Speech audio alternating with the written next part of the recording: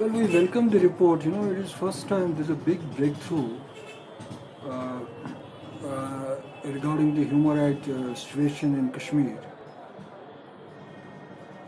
Before this report, you know, in 2008, there was a, you know, the European Parliament has passed a resolution when uh, the mass graves were discovered in Kashmir.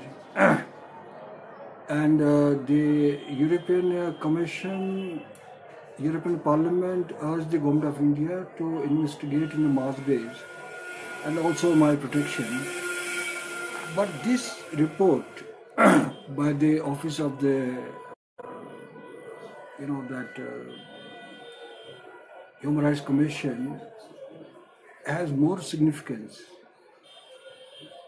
because the report uh, is urging almost what we have been saying from last 20 25 years that there should be investigation. I mean the perpetrators are not uh, punished. Then also that the uh, issue of disappearance then the torture extrajudicial execution also human rights violations you know they have expressed their concern. And uh, because the government of India didn't allow them in 2016 when they uh, approached the government of India and Pakistan for giving access to the to investigate uh, the human rights situation in Kashmir, government of India did not, and Pakistani government said that if India allows, we also have no objection. You know, one of the major success of the Indian government is that government of India has been earlier has been very successful in preventing the human rights uh, situation in Kashmir getting internationalized. You know that they have been very, uh, you know, their PR and other things. They have so far they have been able to prevent it, not to get the issue, because there are other issues in Palestine, in Syria, and other conflict areas. But now, after this report, you know, the way it has been released by the High Commissioner of the Human Rights Commission, and first such report after 70 years where the concern has been made. So the India is really on defensive now, though the Indian government has rejected the report, and even very ridiculous argument is that it is the